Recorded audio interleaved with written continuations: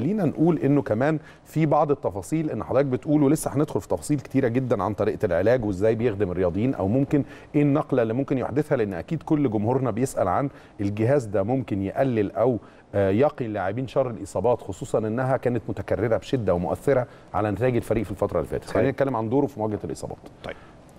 خلينا الأول نتكلم إن الجهاز أصلا بيشتغل إزاي وإيه إيه الهدف منه إن هو يقلل الإصابات؟ بعد الإجهاد المتكرر في ال- في التدريبات وبعد كمان في الضغط في ال- في ال- في الماتشات بتزيد نسبة حمض في في في ال- في العضلة اسمه lactic acid. ال lactic acid هو ده ال- المسبب الرئيسي لإن هو بيعمل إجهاد للعضله وآلام العضلات. الفكرة من الجهاز في درجة أول حاجة بتسبب آلام في العضلات دايما lactic acid بعد أي تمرين حتى تمام. في الجيم في أي حاجة. يعني حتى نيجي نتكلم دلوقتي مع- مع نتكلم ناس مثلا بيلعبوا في الكاراتيه. تلاقي إن هو دايما بيمشي كيس تلج عشان بيحاول يكسر ال lactic acid على قد ما يقدر عشان يقلل إجهاد العضلة. فلما نيجي نتكلم بقى على فريق كورة فريق كورة الأول النادي الأهلي أو نتكلم على فريق كورة عموما الناس دول بيتعرضوا لإجهاد عالي جدا في في التمرينات وبيبقى في فريق أحمال عشان إزاي يقدروا إن هم يعلوا من ال ال الأحمال إن هم يقدروا يستحملوها. وكمان بعض الماتشات. ففكرة الجهاز ببساطة إن هو بيعرض آه، الجسم لدرجة حرارة قليلة جدا عشان عايز يوصل إن درجة الحرارة بتاعة الجلد نفسه تبقى توصل 2 تحت الصفر. ولو اتكلمنا عن الجهاز ما إحنا بنسمع دلوقتي حضرتك شايفين صورة الجهاز قدامنا آه، على أيوة. الشاشة الصورة قدامنا آه، ويا ريت حضرتك تشرح لنا تفاصيل أكتر وإحنا بنسمع الديتيلز الخاصة بالجهاز. فزي ما قلت لحضرتك هو هنا الجهاز عبارة عن آه، آه، وحدتين. الوحدة الخارجية اللي هي في اللي قدامنا على الصورة دي على طول عبارة عن آه، ده المكان اللي بيدخل فيه اللاعب المكان ده بيدخل بي- بيدخله بيكون درجة الحرارة جوه آه، 130 درجة تحت الصفر. درجه الحرارة دي بتوصل عن طريق آه، ال liquid nitrogen اللاعب بيدخل جوه بيكون راسه بس هي اللي بره. آه، آه يعني بيبقى قاعد بالكامل جوه الجهاز ما عدا منطقة الرقبة والراس بس, بس الرقبة والراس هي اللي في الخارج فقط. زي ما إحنا شايفين آه، كمان إحنا شايفين دي. ريبيري by the way يعني ريبيري هنا آه،.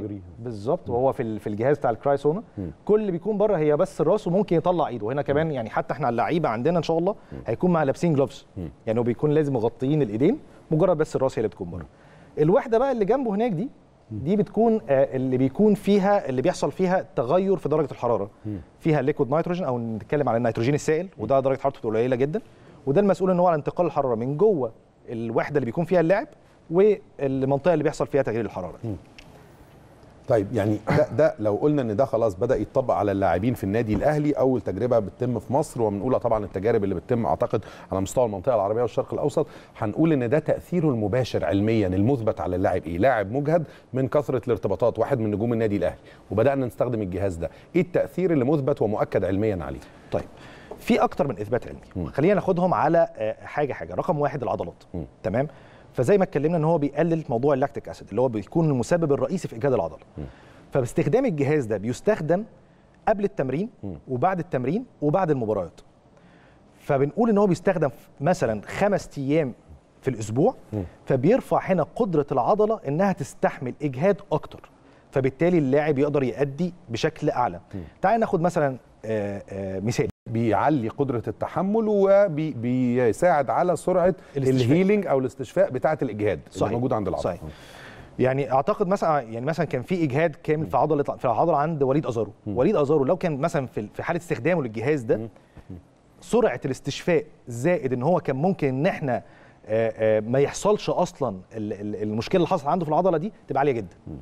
لأن استخدام الجهاز ده بصورة مستمرة بالنسبة للاعبين آه، في أثناء التمرين قبل التمرين وبعد التمرين وبعد المباريات بيعلي قدرة الاحتمال في في في إن هو يقدر يؤدي بشكل أحسن. ولو حصلت إصابة لا قدر الله بيساعد إن هو يسرع عملية الاستشفاء بشكل كبير جدا. يعني